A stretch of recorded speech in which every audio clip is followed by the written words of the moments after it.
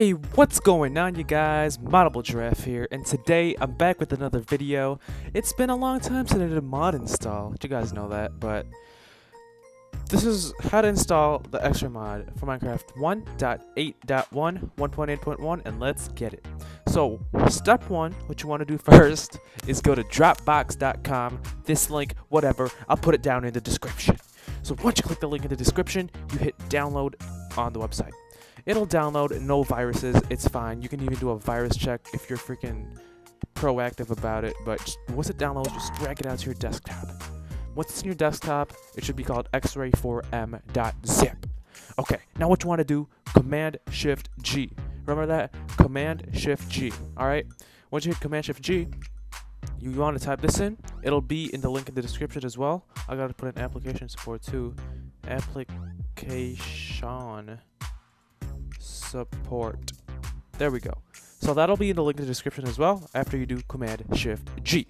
Once you do Command Shift G and enter that in, you want to be in application support this folder. You'll probably be taken up here. And then you, what you want to do, scroll down until you see this folder called Minecraft. Once you see Minecraft, just double click it, open the folder.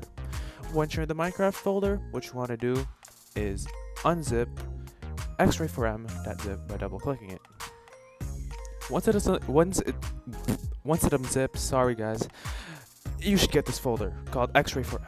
Once you get this folder, bam, just drag it into the versions folder. Once it's in the versions folder, you are all good. Now what you want to do is run Minecraft and see if it works.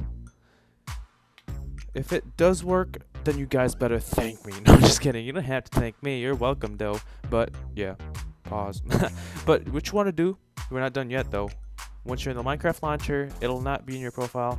You want to do new profile. Name this X-Ray, whatever you want to name it. Just, just I'll name it X-Ray for M. M is, you know, it's a hint. It's an Easter egg. All right. Make sure it's on use version release X-Ray for M. Save profile, profile X-Ray for M. Once you do that, play. Hit play. Let's do this. I I'm gonna show you guys if this stuff works. Mojang screen, Minecraft. Alright. Create new world. Let's make it new world. Let's name it X-Ray 4M. Let's make it creative so I don't have to make a freak make a freaking pickaxe. But let's do it. Let's go. Let's test it. Hey, y'all owe me a cookie if this works, y'all. Y'all owe me a cookie. You ready? You ready? Alright, come on, Terrain. You gotta build. Dang. Hurry up, terrain. Oh. Okay.